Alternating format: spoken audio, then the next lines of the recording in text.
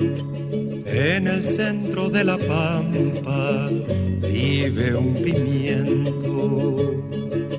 Sol y viento pa' su vida, sol y viento. Sol y viento pa' su vida, sol y viento. Hello, I am Patrick Barnard. Welcome to the 104th edition of the Pimento Report. It is April 2nd, 2016. Uh, we're going to go to an unusual urban green space not very far from here. It's called the Falaise Saint-Jacques, the Saint-Jacques Escarpment. There we are going to meet Lisa Mintz of the organization Sauvons la Falaise, along with a group of young people from the YMCA of NDG who also belong to an organization called C-Vert or C-Vert. We're going to go along an urban road called uh, Saint-Jacques and there we're going to find out what we're going to do today, which is to plant acorns. What, what is this? Uh, planting acorns off Saint-Jacques? Well, we're, we're here. You know, there's so many trees been cut down lately. Uh, we wanted to do something positive about it, so we've got the C-Vert program from the NDG YMCA coming. They're Good. a group of teenagers, and we're all going to plant acorns because John here has donated some acorns. And and John, you brought the acorns. Yes, acorns. I did. Yeah. It's about, uh, I don't know, 30, 40 in them.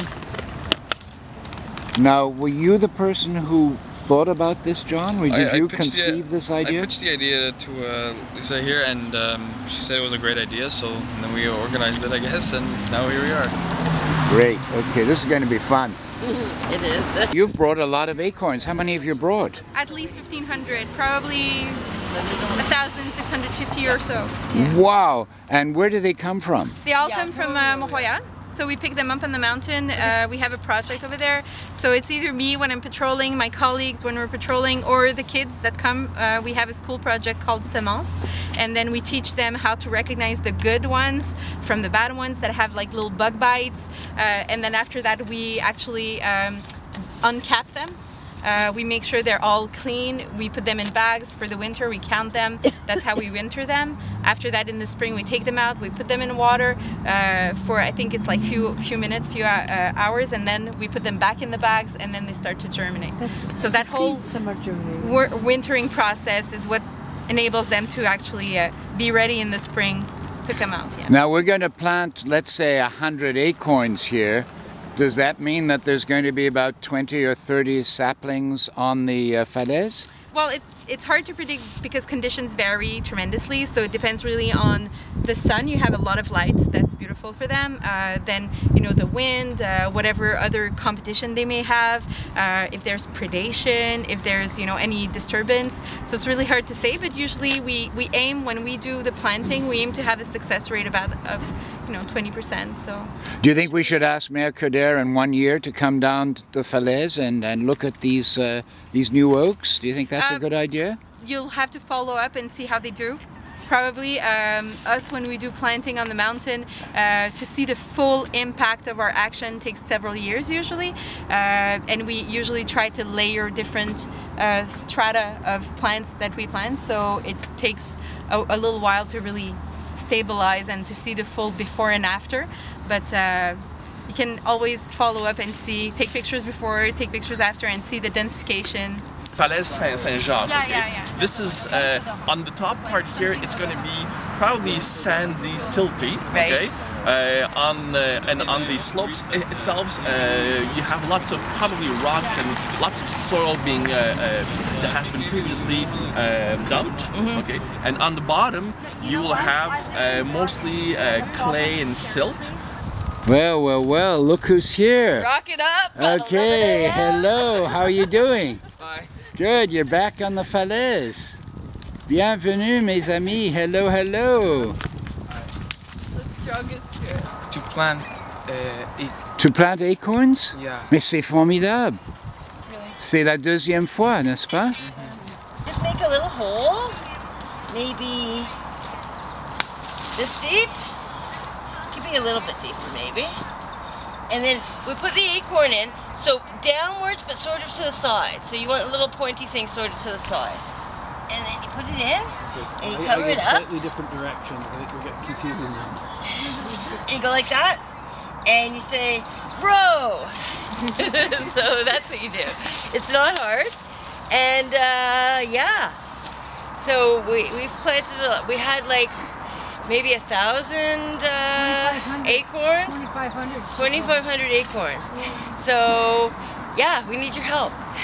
So it's April 2nd, and here you are planting acorns. Yes, yes. What do you think of that? I think it's important. I'm uh, currently just taking all the worms aside so that it can help the, the plant grow.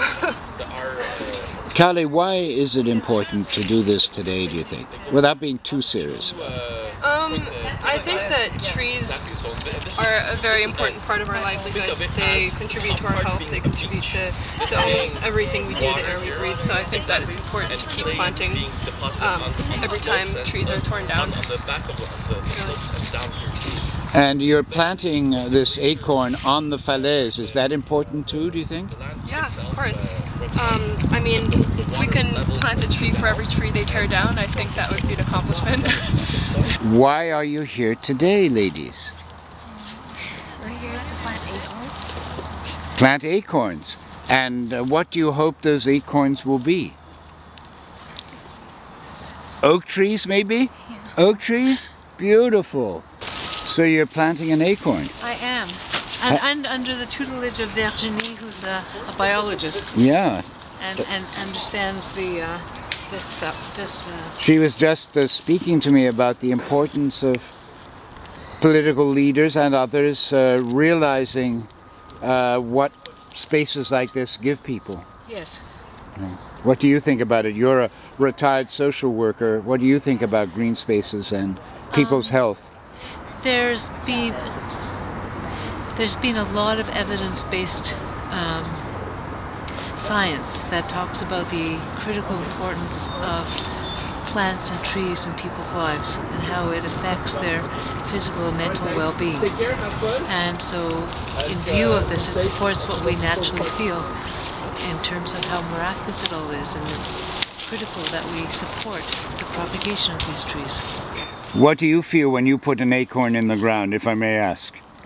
I think it's a small miracle. There's some here's some proof that there's deer here in NDG on the falaise, and judging by how moist it is, like it's pretty fresh within a day. Yeah.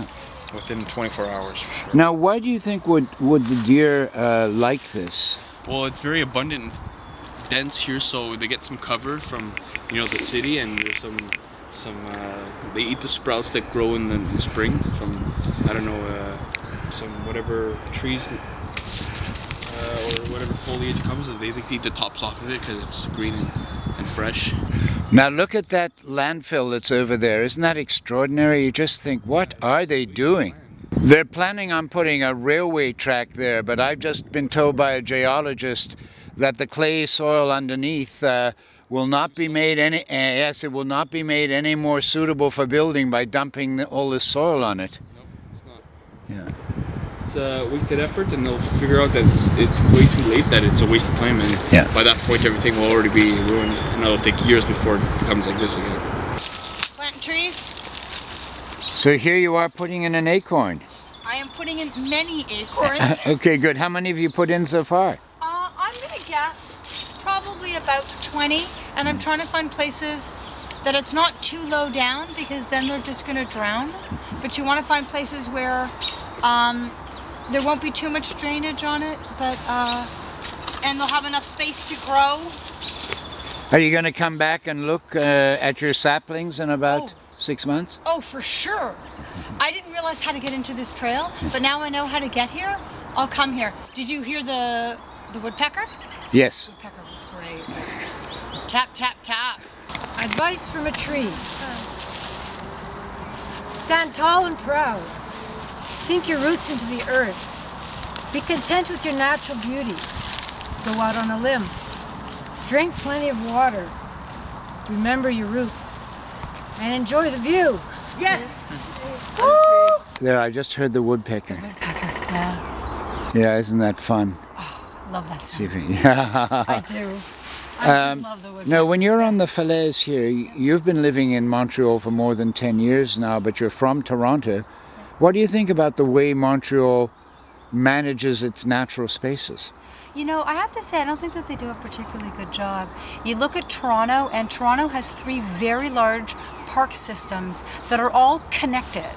And what they did was there was a ravine system, and so they have a park along that ravine, and then they have Sunnybrook Park, and they have King Edward Park, and I don't even know all the other ones, but there is countless miles or kilometers of park that are all connected in some way, so you have these very, very vast green spaces. And in Montreal, we don't have the vast green spaces because they're torn apart by train tracks. A society grows great when old men plant trees whose shade they know they shall never sit in.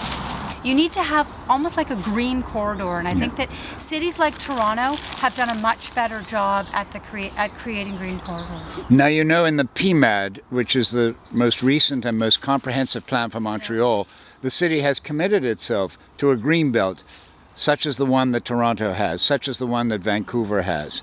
Uh, do you think we're making any progress in that direction? I hope so. You know, you I look at uh, Meadowbrook Park, and I see what's happening there, and I guess I I sort of have always envisioned that being a great small parc Angrignon. The students have come from YMCA C-Vert, and uh, the geologist has been here, and uh, all sorts of people have been here this morning. Uh, what do you think has been accomplished this morning with the planting? Well, I think we planted a lot of trees. I think people like people have told me that they feel like they're doing something positive and that they're making a difference for the future. And I, I really think that that's the point here. I mean, so many trees are being cut down. What we need to do is counteract this urban deforestation, and, and that's what we're trying to do here. Lisa, do you have a plan to take the same people or some of them back in six months to maybe see the saplings? Certainly, yeah. We're gonna mark off the. We're gonna mark them off, and uh, we'll come back and check and see how they grow, and we'll see what happened. But I mean, I, the, they were great seeds. There's lots of them. I think we're gonna get some action here. Uh, Virginie Michaud, uh, who explained all about these uh, acorns, uh, told me that she thinks it's very important to do this. And I said to her, Do you think politicians should come and see this? Is there a plan to have politicians come and participate here? Yes, um, we have. Uh, well, I don't know if they're going to participate, but Mayor Dorais from the Southwest is coming for a walk in June, and Mayor Copeman from NDG is coming for a walk in May, and um, this is great. Um, those are the two areas that border here, and they're going to get to see this area and see how important it is, and, and make sure it's taken care of properly. En el centro de la pampa vive un pimiento.